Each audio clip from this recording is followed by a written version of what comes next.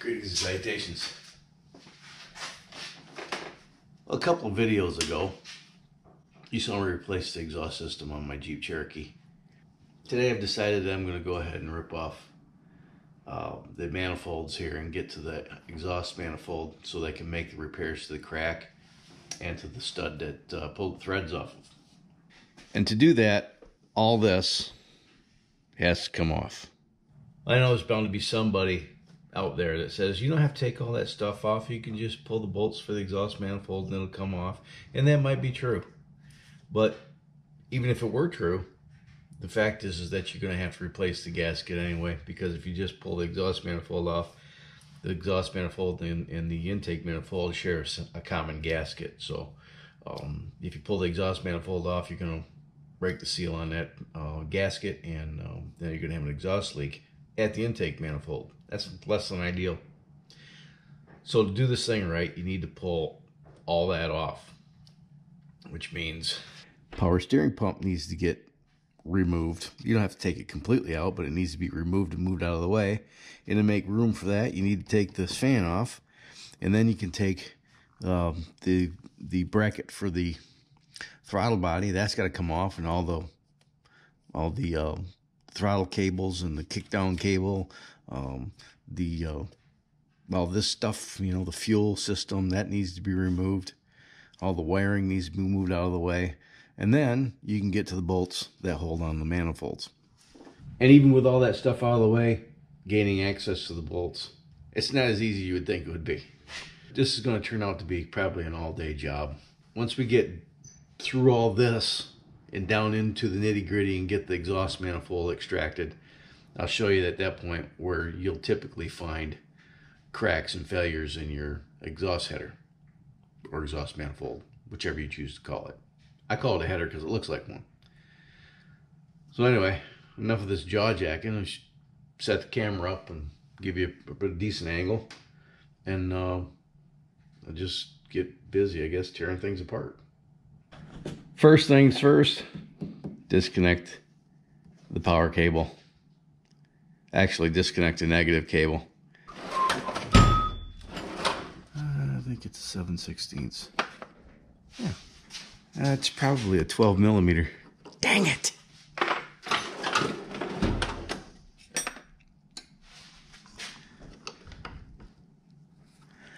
That's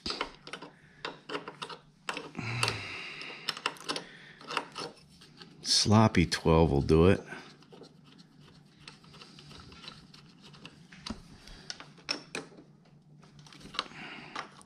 Just for the sake of argument, I'm going to do both because I can.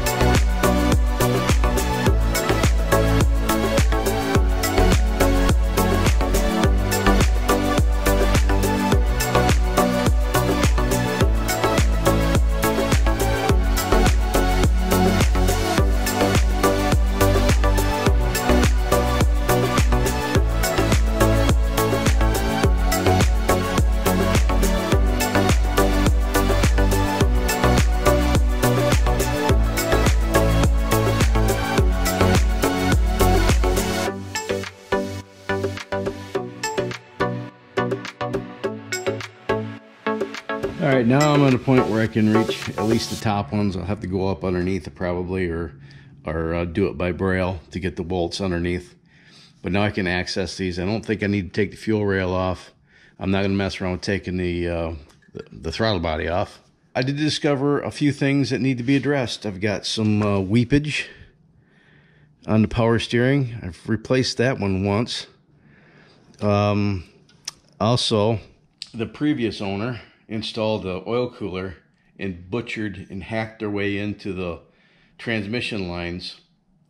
And uh, they were leaking a couple of years ago, and I replaced them with what I had on hand, which wasn't. Uh, it was actually it was 3 8 air hose. It wasn't it wasn't hydraulic hose or anything rated for oil. So I'm probably going to go ahead and clean those up. This is the connector for my uh, O2 sensor, my upstream O2 sensor, and the wire is no longer in the connector. And it has been replaced once already, so I'm going to have to go and get one of those. So as I as I progress through this project, I'll make a list of all the stuff that I'm going to fix.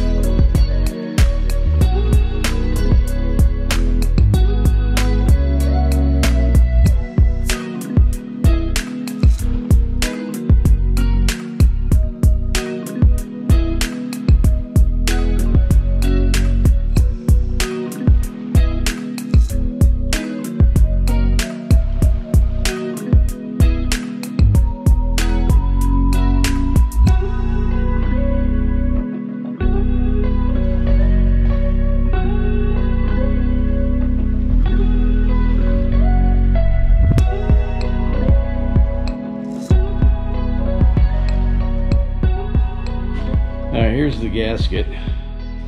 And I'm sure it's a Fel-Pro because I think that's what I bought last time.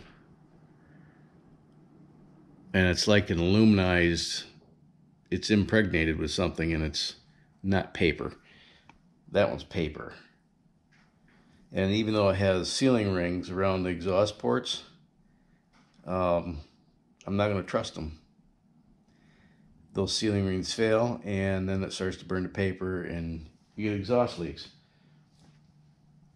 I, I don't even know why I bought that one.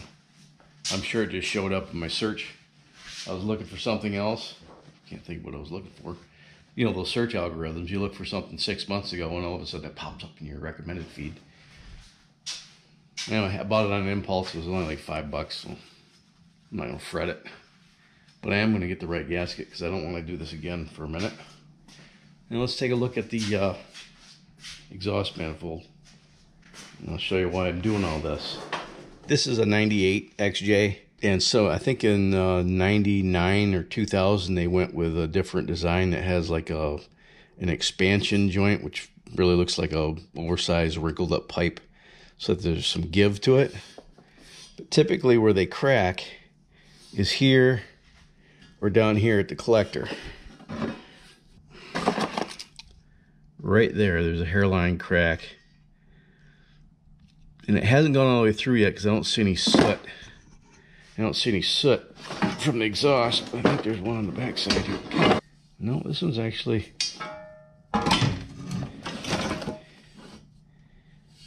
Junkyard part.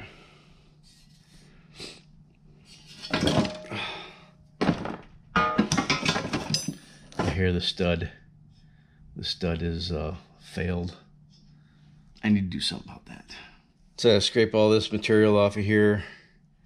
Um, I'll get out the welder and I'll weld up that crack.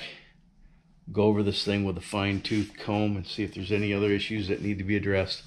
Knock those studs out figure out what I'm going to do for those. I'll probably just replace them with grade 8 uh, fasteners. I don't think I'll worry about going with stainless or anything like that. And then I'll tack weld those into place and put this thing back together, repair all the other stuff that I mentioned before, and and we'll be golden.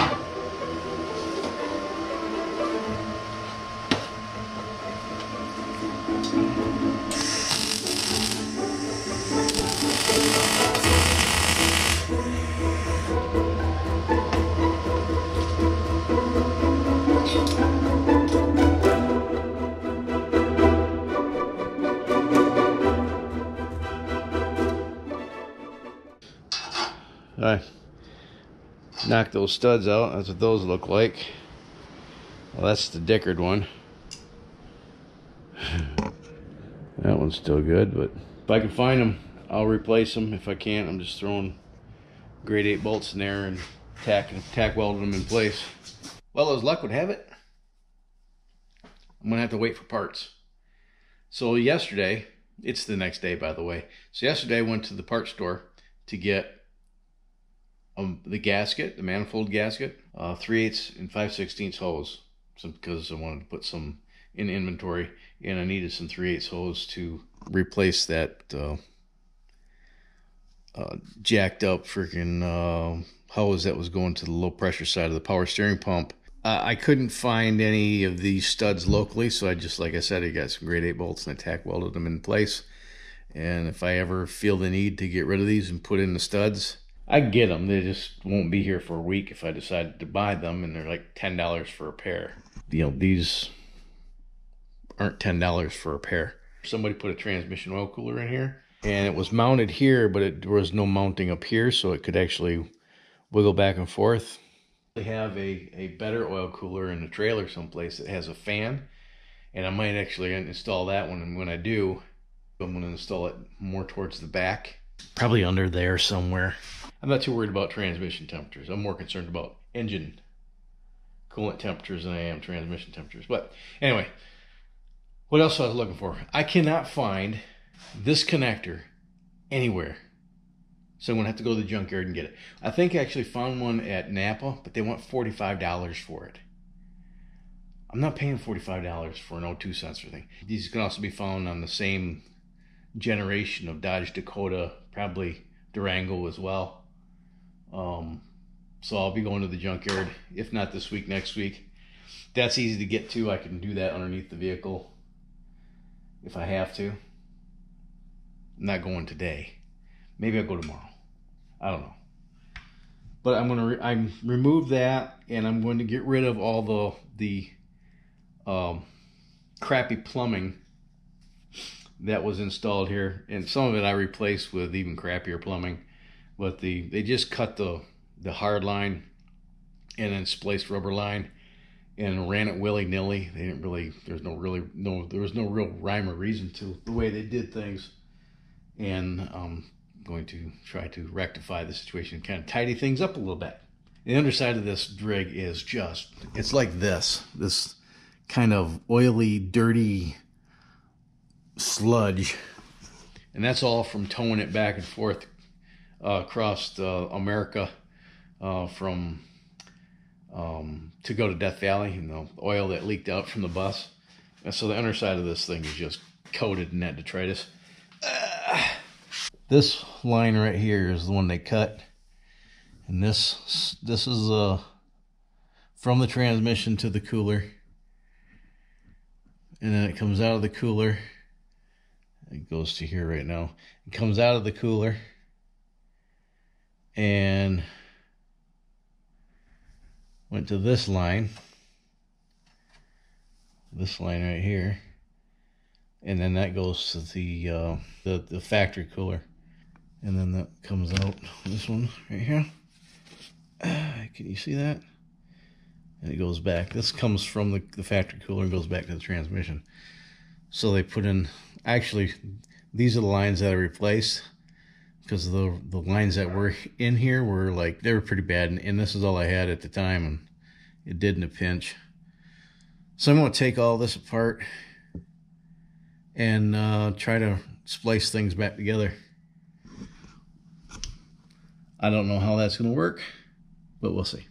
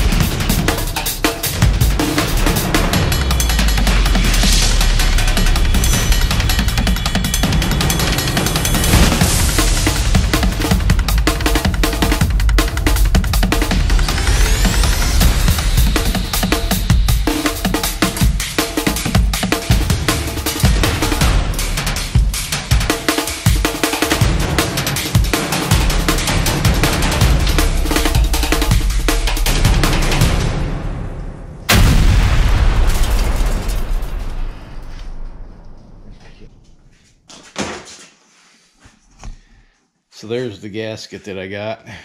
Part number, can't read it. There's the part number, MS16120. Compare this gasket with the Fel-Pro, which is part number MS94790. This says it's for an AMC 4 liter. It matches up with the old gasket. It would have worked, but I'm not going to use it because it's such a pain in the ass to do this job. It's not really a pain in the ass. It just takes time. So this gasket was 20 bucks. I think I paid six for that one.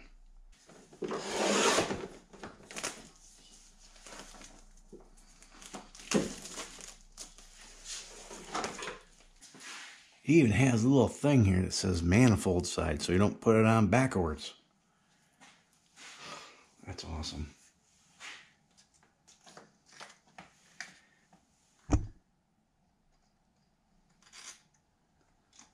Coincidentally, um, the Fel-Pro gasket is available at AutoZone too, and it was fifteen ninety nine. The one I paid six bucks for, yeah, sixteen bucks at the AutoZone. All right put the header back in and you have a stud on both ends one here one over there that you can't see because it's back there tucked in that dark little corner. But you got a bolt on either end and that will allow you to tighten this down. And um, and then once once this is tightened down I'll tighten the uh, the flange bolts down. And then I'll clean the intake manifold up and install the intake manifold and then the, all the bolts that go into the intake manifold also uh, hold the exhaust manifold in place. Okay, I'll get the intake manifold and clean that gasket surface up. What did I do with the intake manifold? It's right, it's right there. Big as life, it's right there. It is really dirty. But I clean the gasket surface up and then I'll start bolting that on.